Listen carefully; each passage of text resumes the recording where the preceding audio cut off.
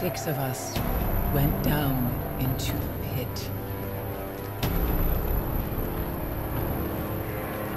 Only one crawled out.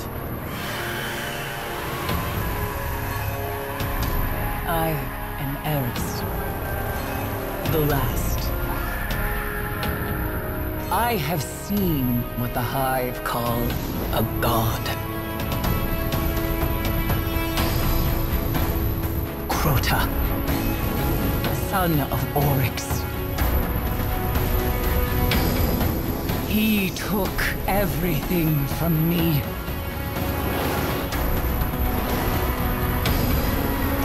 He will turn his eyes to Earth. And only a true weapon of the light can stop his wrath.